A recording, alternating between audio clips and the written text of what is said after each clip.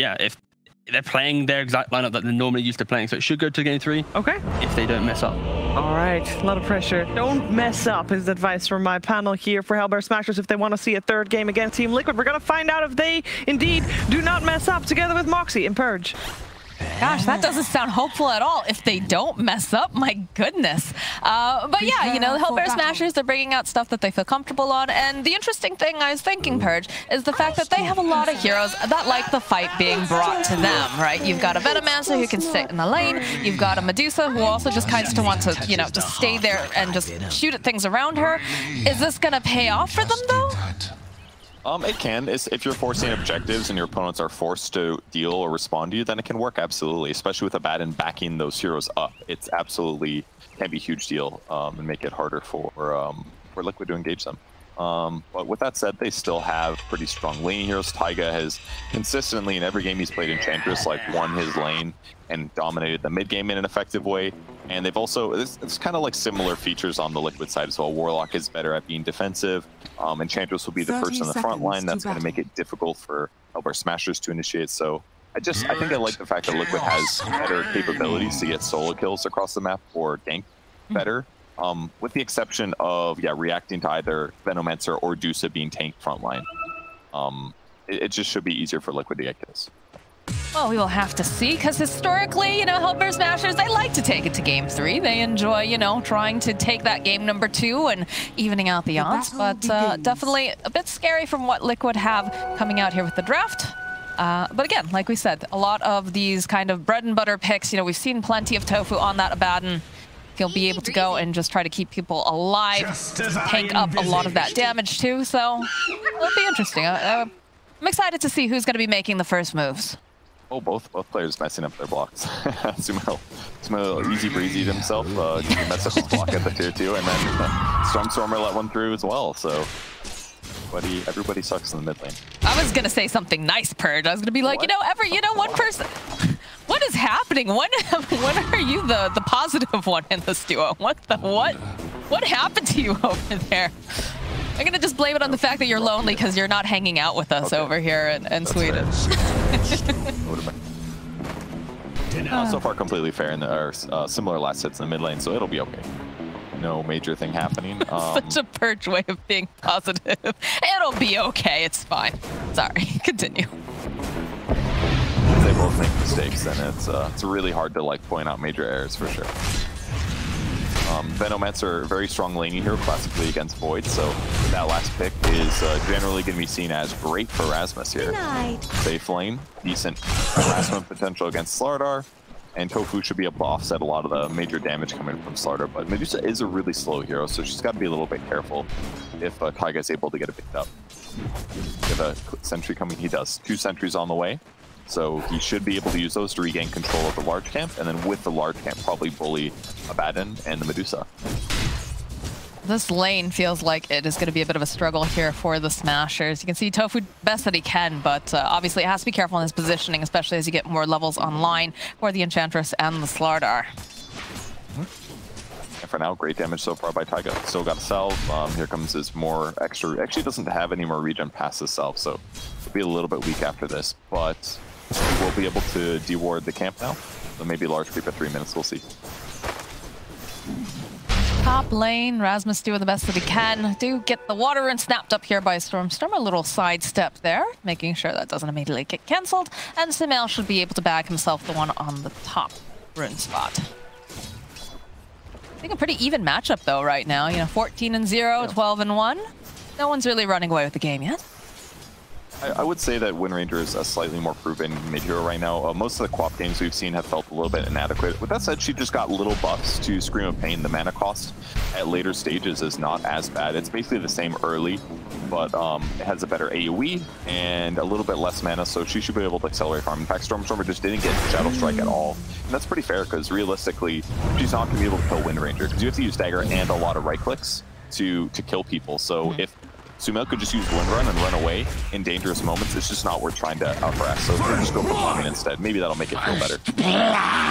Bottom lane, Koifa collecting the first blood. You could see Tofu knew he was dying there, made sure that he got off one of those Mist Coils right off the end. That way he could just be as efficient as possible and keep Medusa's health topped up. But again, a, a It's like difficult lane. People, you're, you're like, well, if I could still suicide, I would have suicided there, you know? That's definitely Like Ryan. possible. It's like rotting on Pudge right before you, you right before you're about to die for sure. Same thing. Um, Top- Priest's Void struggling a little bit here, but he's getting a lot of heals from Warlocks. That's definitely offsetting his uh his the, this normally very difficult lane. I mean, I feel like we see this a lot coming out from Insania in particular. He's usually on a hero that's able to either, you know, replenish health or replenish mana, right? Because we had that whole stint where Keeper of the Light was very, very strong. So he's playing a lot of that. Otherwise, you know, you see him on the Oracle, you see him on the Warlock, things that are going to help his core stay in the lane and, uh, you know, provide that sustenance. Yeah, it's really important. Lane stabilizers, absolutely. Radiant's Um, middle tower Insane, he gets a under side pull attack. off. Didn't get a stack off though because he had blocked earlier with the structures sentry ward, but still very good for lane control here. Um, Mickey hits level four, still struggling on regen a little bit. Insane is about to hit three. This is going to give a much better heal They're- towards uh towards Mickey. An extra 120 HP every time. They're quite forward here over here on Smash. Look at this immediately backing off the Centaur though, just running over. We'll put out a little bit of uh, of damage here. That's that's fine. scary. I mean, if they if he uses enchant offensively, they can just dispel it with aphotic shield. So, so like they are definitely forced to back up right now while Quote uh, uh, counter pushes the lane and gets the last hits. But you know, the centaur will go away, and then he's gonna have to go grab another one if he wants to keep being aggressive. Uh, there's a Satyr Tormentor he could grab though, over by his ancients. So pressure continues. I'm just thinking in terms of, you know, if they're able to stun lock up uh, Tofu there, that could be potentially a problem because he can't shield himself if he is the one who is indeed stunned up. So I don't think the, the play yet, I don't think is going after Ace. Probably not. Mid lane's still really even here. Uh, Stormstormer getting more mana due to having blink capabilities. Rasmus gets low. He's taken down thanks to these fatal bonds. They're just kind of, it's like a little bit of a flirtation here on this top line. You see Erasmus, you know, dishing out a bunch of damage, Mickey just backtracking, or, you know, having Insania heal him back up, and then they go back in for another play, but then Gilgir, come, you know, it, it just back and forth, back and forth here. We haven't seen any uh, hard committals, it feels, for sure. Yeah, I, I I would not want to play this lane in the slightest if I was Faces Void if I didn't have Warlock. It, it's doable here, but without Warlock, it would just be awful. Oh no, the Hellbear Smasher! He's turned on his family! He's a traitor! That's fine though. Just a little bit of, just did a little clapping. Now it's gonna run away. Camp is, and he's got another one. He's been able to keep the large camp uh, unblocked here on Taiga's side and blocking the small camp of the sentry as well. So Radiant structures are a little bit more experience, gives Quake but tons of denies. He's got 12 already here. And that's going to put Medusa a little bit behind where they would want to be. And there aren't really any stacks attack. made yet either. Here comes Stormstorm rotation though. Top. They'll be able to use a Sonic Wave and they take down Mickey. Easy peasy. There's not any way that Insane you can save him from that this time around. Yeah, and, and that wouldn't happen if he was full HP, honestly. Like, keeping his HP at around, what, 80, 70, 80%, it was enough with the Rolling Boulder and the Smash and under the, the attack. ulti. So, um, still no dagger points, but they just got the tower. Like, that is a huge play by Hellbear Smashers, actually. They actually kept the Void down a little bit. Bottom lane, the bashes are real. Oh, that power shot not connecting, but it still is Koifa. will get the kill on Tofu, and Taiga will get Ace's curry, and they're still making plays down here. They want this kill. Gilgir has made his way down, though, but there's just too much damage coming out from Sumail. So they'll get that kill. Looks like Koifa probably going to pay for this, as Stormstormer is also here. Terrible uh, for Liquid, um, getting two kills for the one. They're not going to take the tower, unfortunately, but Isumo got some experience, got some good power shots in. Not the worst. Uh, Insania picking up some levels on the mid lane. Now that the, the safe lane has been, now that that tower's dead, there's no reason for Insania to try to play top anymore. It's just way too dangerous because the, the rundown distance is so far. There's no safety from a tower. He basically have to TP every time. So he'll just pick up levels on the mid lane to try to get six faster, but losing that safe lane tower is going to make things tough. Mickey's not going to be able to get as many creep kills. Uh, Venomancer's can be able to control the jungle very well. Um, he picked up a fast Tranquil Boots to basically offset any regen needs he has, and he's going to go for a Veil afterwards. A great way to amplify Venomancer's damage and his teammates as well. Very good with Queen of Pain and uh, Radiant's Magnetize from Earth Spirit as well, so under this fast. Veil will be really useful. You can see that they're just kind of struggling here to push Rasmus out of this lane. And again, this is a hero that he really enjoys playing, knows the ins and outs very, very well. So Easy will be difficult here unless they have a large rotation. tower has has fallen. To get rid of this pesky under- Hydralisk. Smoke under a ward by Queen of Pain and Earth Spirit. They definitely saw that one, so we'll see how they react. Uh, the Stormstormers almost got Blink Dire maxed out. He are still hasn't gotten Shadow Strike yet. Kind of an interesting build, but absolutely can work here. And looks like Insania is going to be the one that tanks it here. Gets spotted by the Plague Ward. He's only level 4 hero, though. Dire's middle think- tower. well- Oh, they go right past him. Stormstormer, though, should be happy with this. Let's be careful they don't line up too hard here as Insania taking down. They're going for the Chronosphere. They take down Insania, but Sumail is here, and they are just bursting down this Queen of Pain plus the Shackle Power Shot coming out. Down will go Stormstormer. Now Mickey chasing after Gilgir is just going to push them away from his jungle. That, that's the power of the seeing the smoke. They absolutely knew there was a rotation coming. They moved uh, Insania towards the tower. Sumail TP'd at the perfect time. Mickey was in perfect position, so getting the Dire's Stormstormer top kill absolutely makes is that worth it. Top lane, they're still hunting. They want to get rid of Rasmus. Mickey has had enough of this bullying. The veil will go out. A couple of these bashes, though. Mickey needs a little bit of help here. I think he's going to be all right. He's going to be very close here, but no, he's got that heal on him. He's got the backtrack.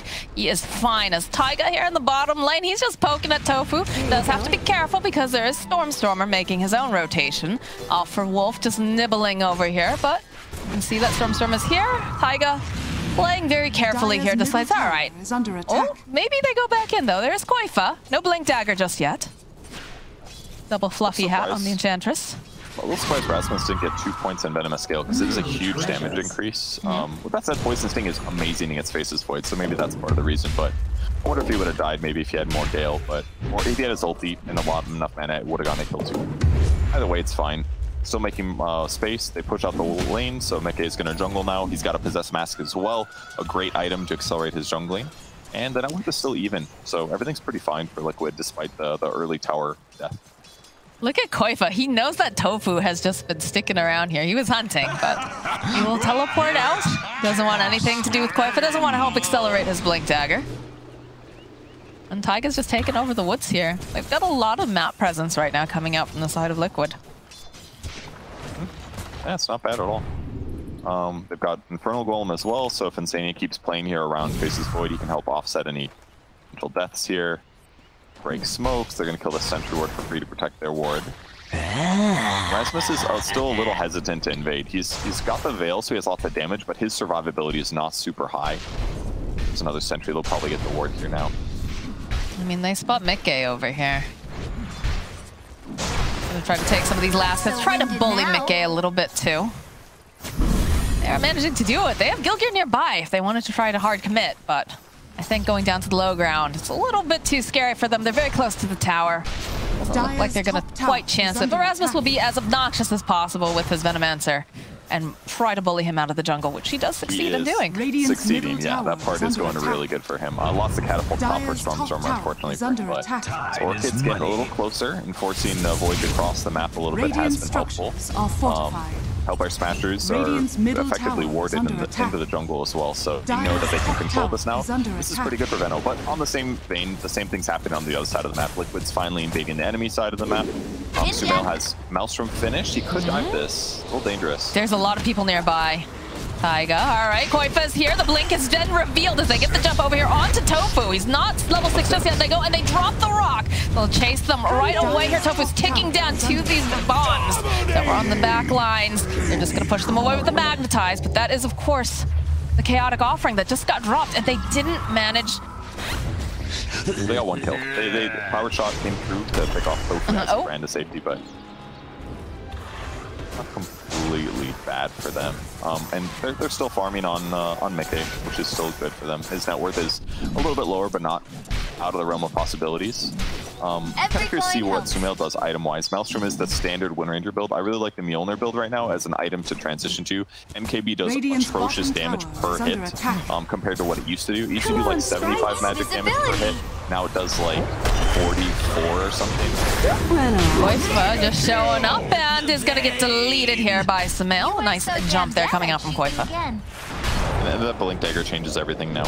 Because now Rasmus, who doesn't have very many survivability items, can't defend himself if he gets gone on like that. Scary. Oh, there's the Chronosphere catching over onto two. The Sabatin's not going to be able to keep Ace alive as they're following up. Koifa gets a nice bash off. We'll follow up with the crash the line up here with the trees. We'll have that borrowed time proc over here, and Liquid will take the middle attack. tower. Radiant's middle tower has fallen. Didn't actually have Stone Gaze yet, but Chronosphere guarantees the kill either way. Uh, not too uncommon to delay it. Uh, but the tower finally falls, and now Liquid has the map control, and they have a Slardar, so good luck, Hellbears. You guys got to fight into this. But Dire's Sumail's tower positioned really well. attack. Let's get Gale. He's in a little bit of trouble here. Don't have a heal. We'll force him out. The Orchid now is completed for the Queen of Pain, so that is going to allow Stormstormer to make a couple more plays around the map. But the way that Liquid has been playing has been very tight, very grouped together, and it feels like whenever one of them is roaming, or rather, whenever Koifa is roaming, let's put it that way, there's usually a plus one nearby. Oh, okay, there it is. There's the, the Orchid. There's the Sonic Wave. Though to take Desmond? He's ticking down. Yes, they'll be able to find that kill. Is Gilgir still hunting? Chase after Insania here. We'll roll backwards. But focusing over here onto this tower, tower Tofu's just going to heal up. Stormstormer, and they're going to continue to put down pressure. Koifa standing nearby though. Just have to be careful. This is very obnoxious to play into when you're a Slardar with a blink, is that every time you're just going to get hit with some of these disgusting little Hydralisk wards. Plague wards. Not bad. Hellbear Smasher's uh, fighting back really effectively. Um, they get that, uh, they force him out of Roshan. Uh, the Orchid is going to be really useful against all these cores. Basically, the only one that's a little survivable is Slardar. Dire But Void and are Wind Ranger are very vulnerable to not being able to cast spells, and that's why both of them, or at least uh, Wind Ranger is fo- going for a fast BKB after Maelstrom. This is also extremely standard. You need to get this because too many disables counter Windranger, but once you get BKB, then it allows you to keep uh, playing the game. But that, that was a huge kill. Uh, who got the gold? Stormstormer did, so going to catapult him even closer to his next item. See what he goes next. Sanj Yacho would be pretty, or sorry, uh, Sanj Kaya would be pretty good on Queen of Pain, maybe. He's gonna go dear. first, Ace getting spotted out here. Does have the Stone Gaze, though, so we'll be able to pop it. Dire's Taiga and Koifa. And we talked about this. This is the hit squad. Koifa plus one. He's got the Blink Dagger online. Look how tanky this Enchantress is, too, with the uh, the two fluffy hats, medallion and whatnot. My goodness. The medallion too, really effective. Uh, five more minus armor. Uh, that's basically half of Slardar ulti. So Juice has got to be careful when her mana gets drained. Minus armor is really dangerous. Like they want to make a play, and they find themselves Gilgir. They'll be able to go shackle them up momentarily. They need to block off. Oh, they don't even need to. Never mind. Koifa finishes off Gilgir. Says, get out of my jungle. Really nice catch there. They'll retake their jungle, get some dewarding down here. Sania is so happy about 50 gold for sentries at this exact moment. Little scary. Yeah, I was I was confused about that. Like they both just kind of sat there for a minute in terms of like, wait, wait a minute, I gotta finish up this creep. Wait, and then Koifa's like, what am I doing? Jumps forward, but she's already yeah, blinks away. I think they were both looking on the minimap directly yeah, rather than on They're both screen at that shopping, you know. Like, what am I gonna get next? Huh. A little surprised though that uh, we didn't see the instant jump there. Perhaps they were waiting also for you know some some more backup. Who knows? They gotta take in the top lane because he's a little bit more survivable right now, but quite uh, still fishing for kills. Dire's courier Oh. has been killed. Those plague wards, man, they are obnoxious. As Rasmus again, he is leading the charge into this jungle, and he's just being a thorn in their side as they jump forward over here. They go and they drop the chaos offering. They're going to try to re-engage. Sonic Wave comes out though. Koifa's already dead. Now it's Stadia running for his life. But Taiga joining into the fight here. Mickey looking for the opportunity. He just can't seem to find his Insania over on the side. He is going to go down. Taiga Just, just disengage. chipping away over on the other lines of Koifa, finding Stormstormer, gets a nice bash off. They need more. They'll be able to have the lockdown with the Chronosphere. Sumail coming in hot with that power shot. And now Ace. He's already used the Stone Gaze. Sumail is hot on his heels. He wants this. He's hoping he can line up the Shackle. We'll be able to go and land it over here onto Misery. Tofu coming in with those aphotic shields. Buys a little bit more time. Taiga having to be careful. Did get hit with that Veil. They need to just clear out all of these Plague Wards from their jungle. It's it's really hard to deal with these right now because they're just preventing. Koifa from reinitiating. Him getting galed as well, making a huge difference. But uh, uh, surprising that they were able to kill Quap. It was very very close. The Chronosphere jump was just on the edge, right as his blink was coming through. Great pickup with the Nether Shawl as well. Excellent on most agility carries because you have tons of armor and getting just all this like a free hood, better than a hood, is amazing against magic nukes like Quap and Venos. So this is the perfect item for Mickey here. I don't think it's ever a bad game to find a shawl. There's always someone on your team that can use it. Just yeah, It's my favorite neutral item for sure. I love getting in a lot of games. Roll forward, trying to grab Taiga to get the silence off Insania, trying to keep him alive with the Shadow Word. Another roll forward here from Gilgir with the kickbacks to Mill. He wants this though, is going to be able to go and shackle Gilgir over here to the tree. He's going to burn him down very quickly, and they still haven't managed to kill Taiga with all of this healing. Over on the side though, Koifa is getting kited. Rasmus though, going to try to get protected here by Tofu. Still kiting, still looking for this opportunity. Sumail though, clicking away, trying to get some more of this damage off. Will be able to go pop the shield again. Another one being tossed out immediately. Nice power shot coming through as Ace is wandering back in. It's a fun game. They're spending so much time near each other, but it's like kind of difficult to fully com uh, commit to a fight. But they can cover each other, so it's a little bit. It's not quite as bursty as most of the games we watch, but it makes for some interesting, a lot of cool decisions.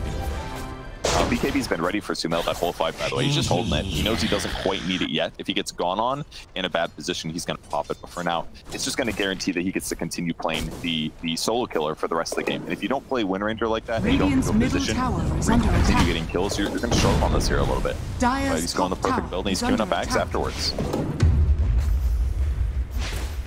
I do like how Taiga is now set into the role of clean out the jungle. He's basically the janitor over here.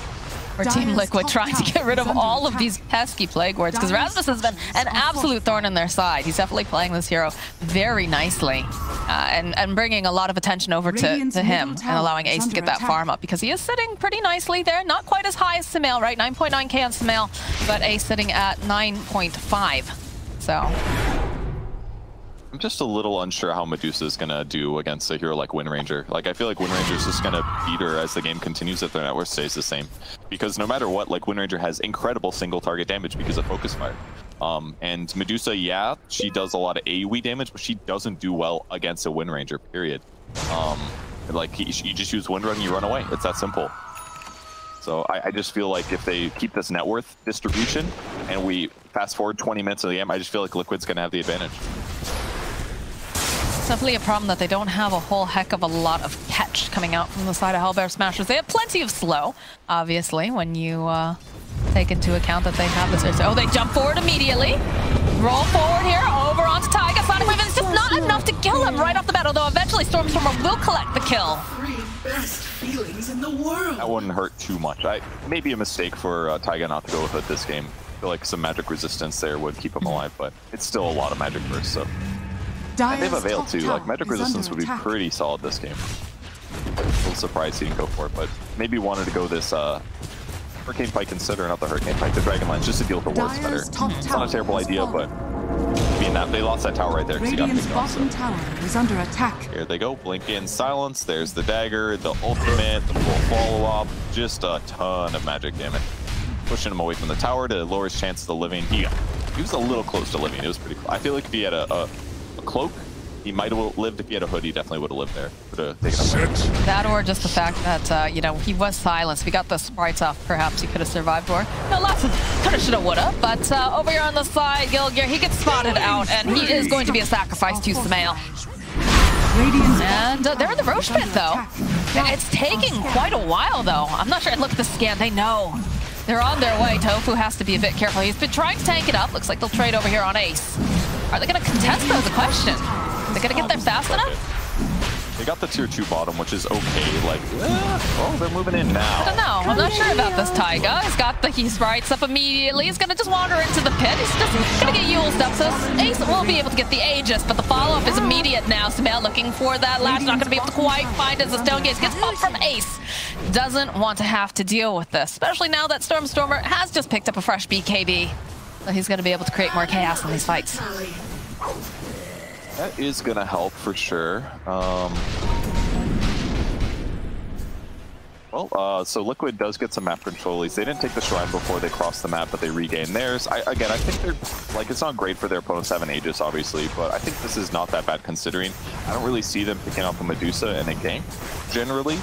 But this does give the Hellbear Smashers the ability to maybe force some like tier twos or something like that. So, but I don't really see the Aegis as like a huge worry to Team Liquid because they have such strong team fight. They've got Golem, they've got Chronosphere. They can shackle two people pretty much every time after a Chrono is completed. So you're looking at a really fat stun here, and if Smashers Smashers are not careful, they're going to get team fight wiped here, regardless of the Aegis. I was gonna ask if this would be more of a, a farming Aegis for Ace, just to you know buy him a little bit more time and insurance policy sort of thing. 'Cause it- I didn't think that Smashers were going to be super aggressive, but you do see them invading, and there is a courier over here. It's gonna be immediately ripped down by Stormstorm. It's Sumail's. Doesn't have anything on it, but uh, Yeah, he already got delivered. Be fine. Um, it- farming, yes, basically. That's, that's how I see it right now, for sure. I just... Uh, it allows them to be a little bit aggressive in their positioning, but unless they get a pick off, I don't really see them taking a tower. Uh. Rasmus doing the right thing. He's cutting the bot creep wave that they cut mid and bot. It becomes very difficult for their opponents to push. But that's going to rotate Sumail to his mid lane, to enemy mid lane as well. He's almost for sure going to cut the next creep wave, and they just don't want to engage right now because it's a little dangerous. Um, and in the same vein, Mickey is pressuring bottom, um, knowing that he's relatively difficult to kill. They don't have solutions now that he has. Manta. And, uh, well, it's got the axe completed here for Ace. They'll go, they'll throw down the upheaval, try to slow them down just a little bit. The Sonic Wave, oh, it's not close enough. Radiant's Oh, turret The zero, the zero times combo, Moxie. Radiant You don't need an Arcana for that one. No, you don't. That's an oof, for sure. And they are rotating back bottom now. They want to deal with Mickey. I don't believe they have vision. The roll forward. Oh, they have the Yules, though. They can set up the silence as well. They've got the veil. This is the kind of damage that we were talking about, although they don't manage to quite land that Poison Nova over here. Does have the Magnetize, though, on Mickey, and he's just trying to run away from the Gale. He's got that Poison Sting on him, and it's just so slow. But where's your lockdown here? Where's your lockdown, Smashers? That was insane patience from Mickey. I would have meant it off that, uh, like the, the Earth Spirit Silence or the. Gale or something, but he was just terrified that Quaff was going to show up at any time and work him immediately afterwards, and then he would die. But he just was patient the whole time. He knew he was relatively safe. They basically get a lot out of that movement for Liquid. They accomplished everything they wanted. They sniped the courier, they cut the mid wave, they cut the bot wave, and eventually Hellbear Smashers had to back up. They didn't get the tier 2 tower. They didn't use any big cooldowns, and Aegis is a little bit closer to going away now. Radiant So great movements there by Liquid. Um, they've almost got Ags on Wind Ranger, which is going to give them a lot of evasion. 30% basic hits now. It doesn't get as much movement speed as before, but still will be. So here's the roll in, the gank on Enchantress. Look how quick he is with that healing ward on him. Upheaval helps a lot too. Oh, there it is. Oh. That was really close. That was actually really close. It wouldn't have killed him. It was still a, a, a poor use of the Dire's middle ultimate, but tower um, is under attack. Sounded like the slow on Quap's ulti sounded like the old like AT&T like Radiant's top tower Call. is sound under like it Right? sounded like a weird Didn't like, it? like phone jingle. yeah. I wonder if that had When anything. texting was like really fancy. You're like, oh, you got to pay 10 cents every time you send a text. Radiant's Now I'm talking even older than that, attack. dude. I'm talking the before texting. Not going all the way back to rotary phones, but uh, definitely sounded very strange there as Mickey putting some pressure here on this top tower. And everyone's really kind of spread out. You can see the Smashers are focusing over on the tier two in the bottom area. Radiant's top tower is under attack. trying to just get something done here. They're still working on the tier one. If you price of Dire's 322, we can roll. structures are fortified. don't, I don't have that kind of money. Uh, this game is going so good for Liquid right now. Mickey just takes a tier 2 tower on pressure. They're doing tower is such a good job. And Koif is playing in the area. That way, any, if anybody comes back to counter push this, they can get a kill. He sits Yeah, here, TP. and yeah, Smashers take a tier Radiant's 1, but all right, it's going to be tower Gilgir. under Let's see if he gets He takes the bait. He's coming too. Mm, The roll forward immediately. Eventually, yeah, there it is. Koifa jumping right on in. They do have the size, but he's got the Manta, like we talked about. Gonna be able to backtrack away. There's hunting over here on the side, but oh, Koifa pops the BKB, just takes down Gilgir. Over in the bottom lane, Tofu has been left behind. He does indeed pop the Taiga. This is kind of all over the place here. I think we've yet to see like one really big team fight, Urge. It's just it's difficult for for Hellbears to force Liquid to fight, and Liquid is just way ahead of time, anticipating what's going to happen. So that's why, like, when they get at buildings, Mickey's like already threatening tier threes. They're just reading the map and reading what Hellbears are doing, and it's difficult for Hellbears to stop it because of the nature of their heroes. Abaddon does not contribute to ganks at all. He's a counter initiator support. Earth Spirit is great at initiating, as is Quap, but that's it. Venomancer is just okay. Gale is very counterable here, and having Time Walk to be able to jump away for it for it already just does enough.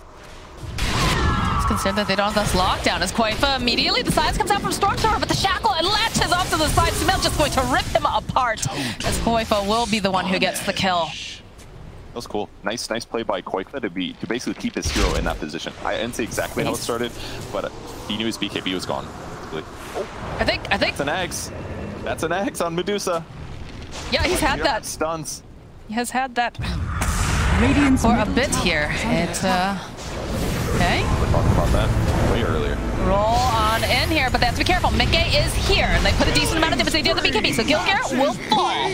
They have to be careful again. They've got Insania nearby. He does have the chaotic offering. You've got many things if they want to go back in. That Shadow Word Shard also helping quite a bit here, but tower is under attack. I don't know. How do you approach this fight right now if you're Hellbear Smashers? Because, you know, you've got heroes that want to stand their ground, that want you to come to them. And look at this, Rasmus here. He's trying. He's being as pesky as he can, but it just doesn't feel quite as effective as it used to be. As Sumail, when running over, looking for the Shackle, manages to land it. They get the Aphotic Shield up, but look at this damage coming out. It's just not looking like Rasmus is going to be able to survive this as the power shot comes through, and down goes the Venomancer. Mel does basically an infinite amount, amount of damage with focus fire. It's just way too much is under attack. to, to keep them alive, and they just don't have good enough AoE stuns to offset it. Yeah, the Venomancer did pretty good in the lane, but not quite good enough. And yeah, Deuce is going to make up for some of these stun deficiencies with the Ags build, but ugh, this is the game's feeling really hard for Hellbear. It just feels like Liquid is not really punishable. I'm also concerned because look at the Radiant's vision that Liquid has has up and around the map too. It's just so hard for the Smashers to get out of their base and to farm or do anything because they, uh, you know, look at this. We're even seeing now that Gilgir says we got to get rid of these wards. We're going to get ourselves, you know, a, a gem, try to make some space again. But it, the threat coming out from Liquid is just so scary. Oh, and a Mindbreaker drop. Perfect Wind Ranger item. It's basically like a, it's, a, it's better than a Javelin. Um, it's an insanely valuable for, for his single target damage. I wouldn't be really surprised if he doesn't use that. They see Gilgir, and they can see Ace walking on by. And immediately, the follow-up here from Sumail. It's a quick pick off there with the power shot. That is just a gem that is down on the ground as the chase is on. They're going to back off from Ace here. Look at how fast this Medusa is just jogging home. Doesn't want anything to do with this, but Sumail is looking for that latch here. Wants to get the shackle off. Won't be able to go and find Raz. This is more than happy with this as they just burst him down. Unstoppable. And, uh, oh, okay, Mickey's just, you know, playing around with Ace. A polite hello, goodbye. We're coming for your buildings. Giving him the taunt. I, this is basically effective from have Chartier because the Chronosphere, like, they have so much room to play with. He can just, like, say, like, am I chronoing now or is it going to be later? And it's just going to force Smash Smashers to have to play so much more defensive. Like, genuinely doing moves like that and just making your opponents feel uncomfortable is huge in pro games because it just makes them feel like they can't leave each other because at any moment that chrono could be real. And there's, like, no punish either for him doing that because their disables are weak. Regeneration. Almost have a completed Desolator now for Sumail. So already gotten a nice present in the form of a gem, and uh, he's just got a lot of control this game. Just the way that Liquid is playing together and with the lockdown that they have, it's too scary. Smashers here. Do you? Oh my gosh, Gilgir just trying to do, you know, a little bit of something here. I was looking for the power shot. We'll sidestep it nicely. Stormstormer was uh, providing some support there, saying, you can do it, buddy, you can sidestep it, but otherwise can't do much of anything else. His damage is just a little bit low. Hadn't picked up the Mindbreaker yet, but they're looking pretty good for Liquid across the map. Their wards are great. Mickey gets to play up aggressive. Basically, all of their heroes just feel unkillable at this point. And you have to worry about Slardar jumping out of nowhere and killing you. And anytime he's been farming, picking up an Ags here. Haven't seen one of these in a while, but still a great item. Just puddles everywhere. Regen, armor, and status resistance if he goes in. So very effective for initiating. All right, Purge, how many Plague Wards do you think have been weeded out by Liquid? Uh, I'm gonna say 40. That's my guess. I'm gonna go with 41. 48. 42? Oh, man. oh, no. Rasmus, though, caught in the middle is just obliterated here as they go and they find themselves a Gilgir over here on the side. Stone Gaze does get used. See, Mickey is going to tie a little bit of time off here on the side, and he's looking for the Chronosphere. He just goes and immediately, finds himself this Medusa. The rest of the team is here. They've got plenty of damage, but they do get the Sonic Wave off, so they'll bounce them up, but again, they follow up with that Cave offering, and she's tanky, but she's not tanky enough, Purge, because down goes Medusa. And the hunt is on. They're chasing after Rasmus. They'll be able to find the Venomancer. Tofu now running for his life, but Mickey's has come back here. He's still wants this. He just chases after him. He's looking to get these bashes off. He's like, okay, you know, I, uh, maybe I'll back off. Feels like Koifa doesn't want to, though. And no, he does not as he chases Tofu all the way into the base. The Bash brothers are real. And Sumail will clean up over on Stormstormer. Easy breezy. Yeah, it's got the Mindbreaker and the Death Snail, easy kill. And uh, everybody in Liquid is so farmed. Everyone has items this game. Ags on Warlock, they just feel like they can do whatever they want because their cores are tanky enough. Radiant's They are doing whatever they want, under Kurt. So they just, the, like one or two of the heroes can just always be hitting creeps. Normally you have to sit as five like all game because the margins are so thin and staying alive. But just the, the, the draft matchups as the game continues fallen. here were just so good for Team Liquid. The racks are going down. Are under attack. There's no buyback over on the side of Smashers. They are just going for the finish here over here on Liquid. Sandy just dropping down the upheaval. So stay in your base. You don't want to come out here. Panic fixed up now here for Mickey. It's just looking a little bit too difficult, but they'll throw up fortifications.